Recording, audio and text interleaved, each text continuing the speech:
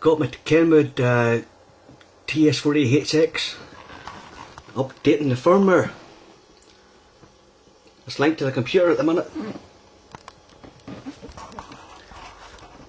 Nice verifying the firmware. Thought it uh, from here into the computer. Uh, it come with version 104 in it, so I'm updating it to 107, which is the latest version. There's a wee update switch down here. Need to be put on when you're updating.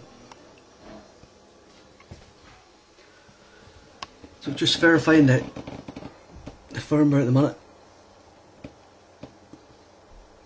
Quite simple done. Once it's updated I need to turn this wee switch off here again and uh, put the lid back on again and connect everything up and that should be 107 up and going.